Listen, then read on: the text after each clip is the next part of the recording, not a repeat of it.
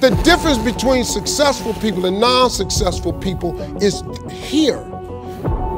I'm no better than none of y'all.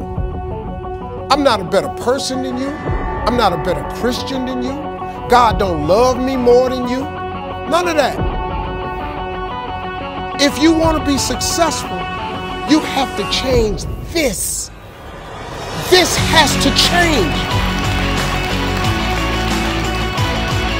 Listen to me. It's not what makes it hard is your lack of belief that it can happen for you. The fact of it is, though, it's very doable. If you keep doing what you've been doing, you're going to keep getting what you've been getting. So if you're at a place in your life and you ain't happy with it, you have to change some things. But you have to make a conscientious decision that you're going to change. And it's not dependent on anybody else. It don't matter what your mama think. It don't matter what your coworkers think. It don't matter what your siblings think. It don't matter what your children think. It don't matter.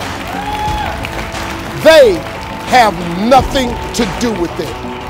This decision is yours and yours alone.